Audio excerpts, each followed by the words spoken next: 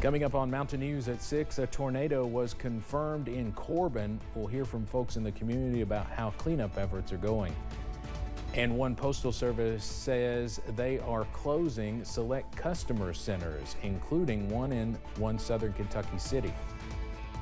Plus, we are tracking higher rain chances and warmer temperatures by this weekend. Your forecast on the way as Mountain News at 6 starts now. Dedicated to Eastern and Southern Kentucky, this is WYMT Mountain News at 6. Officials with the National Weather Service in Jackson confirmed yesterday a tornado ripped through part of Knox County Sunday afternoon.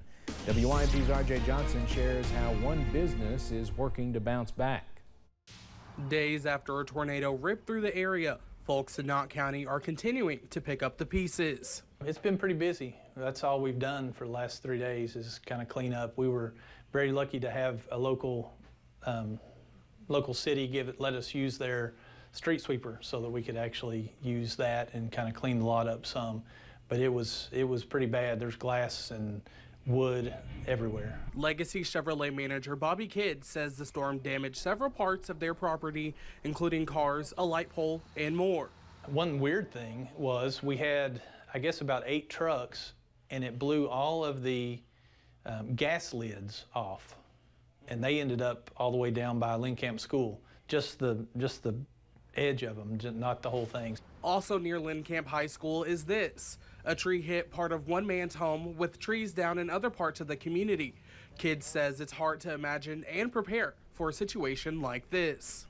There's not a lot you can do about about the weather. I mean, it, you just hope that it doesn't doesn't hit, especially when it's business is open or there's a lot of people driving around or out. So it was a blessing that it was on on a Sunday early afternoon when there wasn't a whole lot of traffic or a whole lot of people there. He says while it could have been worse, he is glad to see folks in the community come together.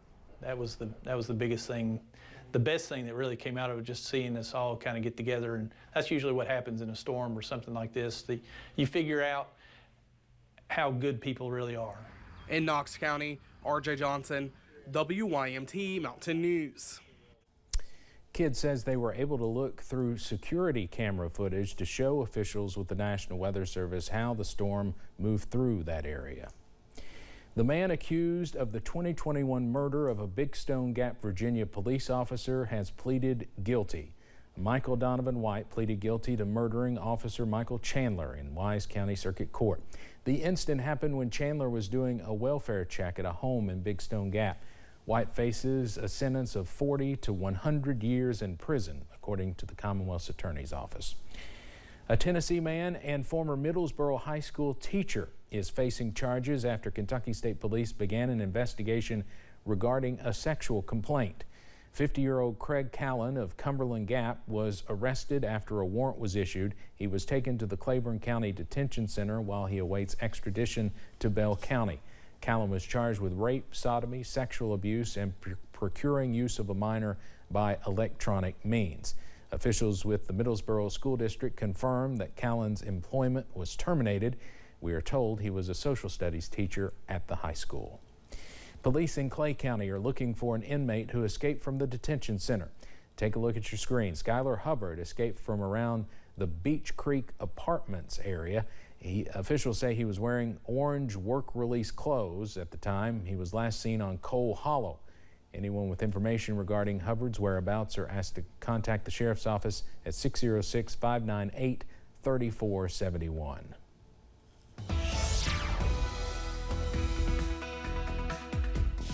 We are tracking some dry weather and plenty of sun on this Thursday evening across the region. A live look from Morehead at I-64, also from Buffalo Mountain, from Perry County, and from downtown Pikeville, and from the London Corbin Airport. Not much happening as we go into this Thursday evening, and one more dry day on the way tomorrow before changes begin to return by this weekend.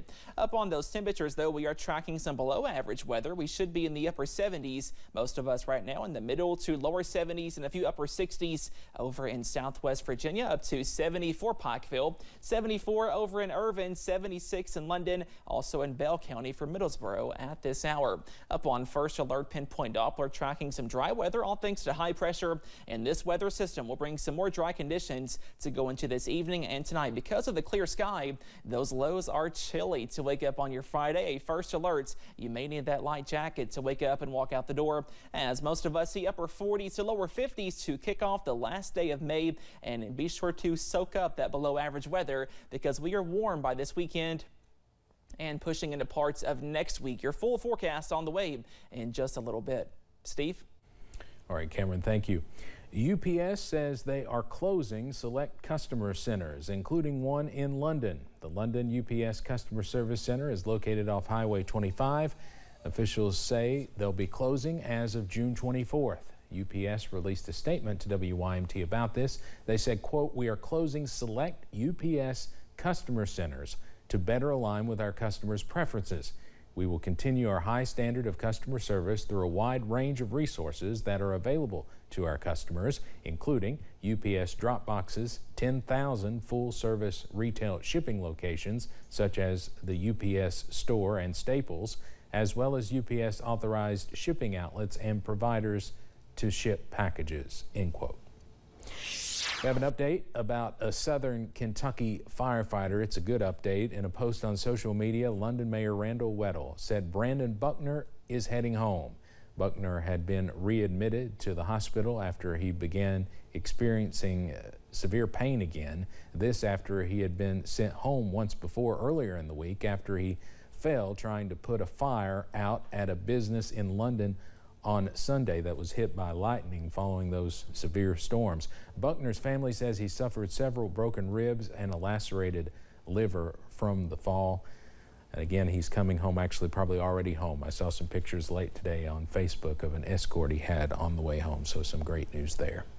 The Laurel County Sheriff's Office is offering extra patrols for community members going on vacation. Police say there are some steps to take before leaving vacation, including making it seem like you are still at home. Public Affairs Deputy Gilbert Acciardo also says to alert trusted neighbors that can call police if something goes wrong. If you want to take advantage of increased patrols, Acciardo says there are a few things that can help them keep the home safe. We want to know an address, of course. We want to know the time frame that they're going to be gone. And if there's going to be somebody coming by feeding the cats or, or something like that, we want to know that. But, but beyond that, uh, that's all they got to tell us. Acciardo says it does not have to be a week-long vacation. They can also do increased patrols for just a weekend. You can contact the Laurel County Sheriff's Office at 606-864-6600. Governor Andy Beshear announced more than $5 million for five counties, which will go towards supporting site and development projects. One of those counties receiving funding is in our area. The Clay County Fiscal Court, on behalf of the Elk Hill Regional Industrial Authority, will upgrade water infrastructure to the Elk Hill Regional Industrial Park. The regional project is supported by Clay, Knox, and Leslie counties. The Breathitt County Fiscal Court is receiving $20,000 in emergency road aid funds. That money will be used to repair a slide on Hardshell Caney Road. Officials say the slide is near Zach Lane in Breathitt County. As thousands of students here in the region take their final steps across their high school stages, the next chapters of their lives are already seeing some support. WYMT's Buddy Forbes explains.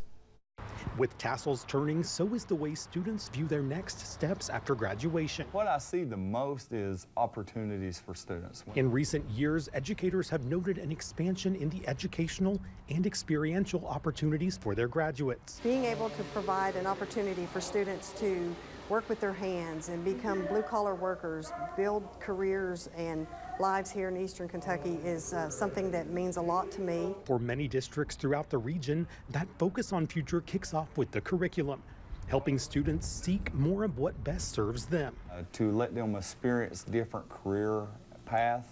That way they determine whether they like that in high school or not instead of getting out into the real world and ending up having to backtrack and spend a couple years trying to find their identity in the workforce. Support from scholarships has continued to fuel those future plans with colleges, universities, technical programs, and more, investing in graduates throughout the region. Like eight Prestonsburg graduates who just received full rides worth $10,000 each to the Tech Center in Martin County. So these kids are going to be able to leave high school and jump straight into a career with no debt once they graduate and just one year investment in themselves. A trend that educators say is only growing as more institutions see the innovation and industry opportunities that start in the classrooms. It's why we do what we do as educators, to provide them those opportunities. Setting the stage for success. In Floyd County, Buddy Forbes, WYMT Mountain News. Seniors all throughout the region have been receiving scholarships and awards this month, which educators like Thacker say is a sign that there is support out there, fueling not just the future workforce, but the future of the region. Well, a first alert for some chilly weather to wake up on your Friday, but a warm up is also on the way by this weekend. All those details coming up. Plus, Students at one local school and college discuss their experience during a mission trip to one country in Central America.